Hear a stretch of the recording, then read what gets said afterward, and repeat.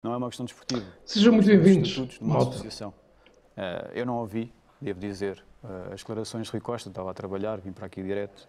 Se disse que é o presidente efetivo, não é. A suspensão de Luís Filipe Vieira não está prevista nos estatutos. Não quer dizer que seja ilegal, não quer dizer que seja irregular. Se Luís Filipe Vieira tiver como medida de coação prisão preventiva, eu acho que os membros da direção deveriam colocar o cargo à disposição e renunciar.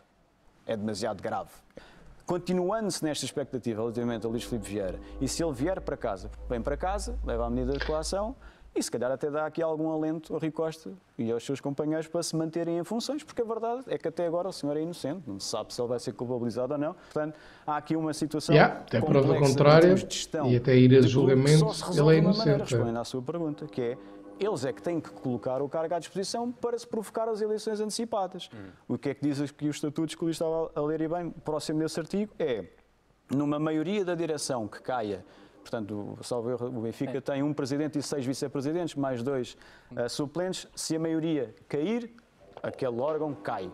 Se o Conselho Fiscal tiver três a cair, aquele a órgão cai. É?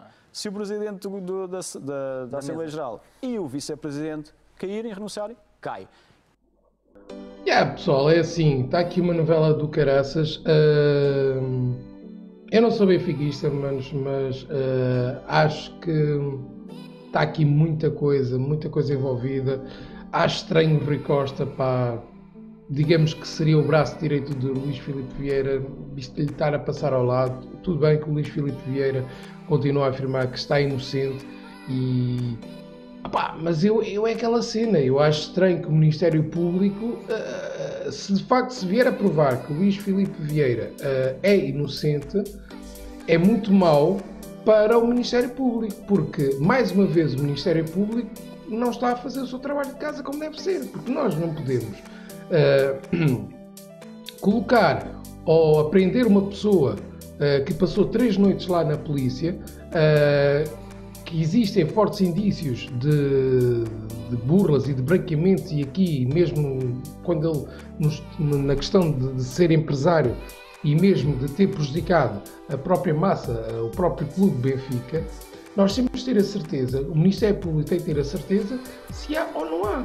Porque, reparem, se este, se este processo que aqui está a correr, que agora sabemos que a justiça portuguesa demora aquele tempo todo e e isto até ir a tribunal, esperemos que seja rápido, porque ele depois será isto vai a tribunal, perante os factos, e vai-se perceber se ele está culpado, se não está culpado, mesmo que ele esteja culpado, há sempre recurso, etc, etc.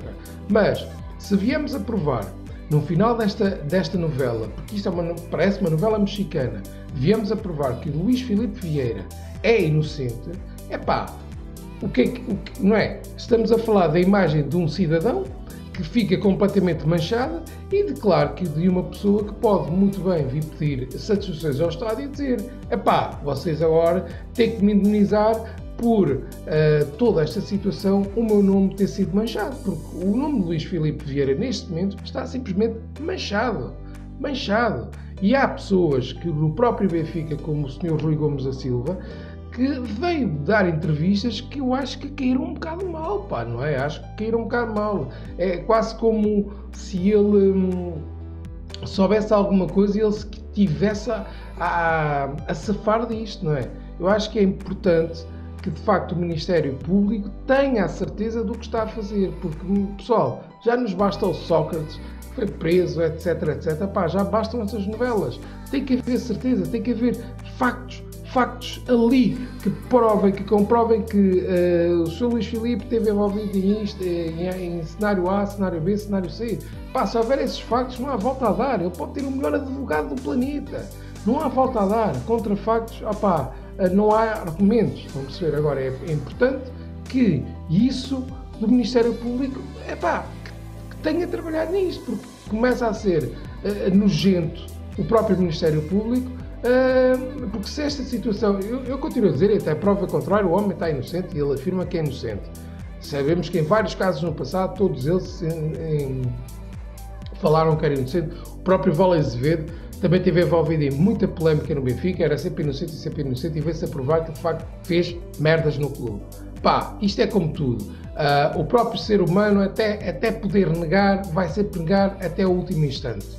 Ok? Mas sim, há uma probabilidade que o homem pode ser inocente.